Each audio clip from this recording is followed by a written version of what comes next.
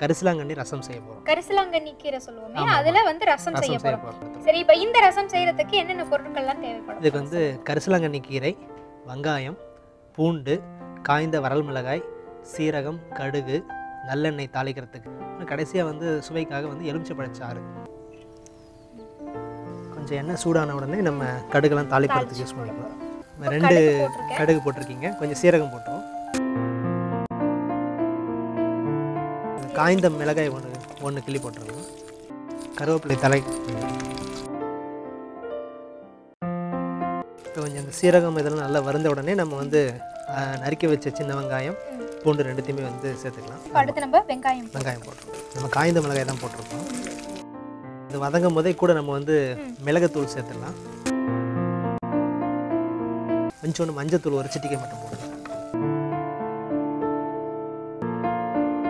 நல்லா வதங்கிடுச்சு இப்போ என்ன பண்ணலாம் கரிசலாங்கண்ணி கீரை போட்டு. இலை போடலாம் இப்போ இதுலேருந்து வாசனை வருது இல்லைங்களா? இந்த வாசனையே வந்து நல்ல ஒரு மனம் வீசுது. நம்ம இது சூப்பாக நம்ம வந்து ரசம் மாதிரி வந்து நம்ம பரிமாறும் பொழுது இன்னும் சுவையாக இருக்கும். இப்போ இது நல்லா வதங்கிடுச்சா? வதங்கிடுச்சுமா? இப்போ நம்ம வந்து ஒரு ரெண்டு டம்ளர் தண்ணி ஊற்றிக்கலாமா அதில்?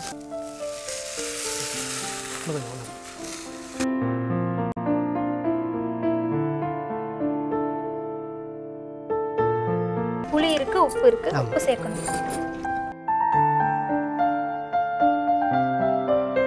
நம்ம உப்பு வந்து தேவைக்கேற்ப நம்ம வந்து பார்த்து கூட அப்புறமே கூட நம்ம உப்பும் மிளகும் தேவையான அளவுக்கு நம்ம அப்புறம் கூட சேர்த்துக்கலாம். கடைசி பரிமாறுறதுக்கு முன்னாடி எலுமிச்சை பழச்சாறு நல்லா கொதிச்சிருச்சு. இப்போ நம்ம கீரை வாசனையும் இந்த சூப். ரசம் வடமும் சேர்ந்து வந்துகிட்டு இருக்கு. இப்போ நம்ம புளியை கரைச்சி வச்ச புளி ஒரு ஒரு ஒரு தேக்கரண்டி ஊற்றினீங்கன்னா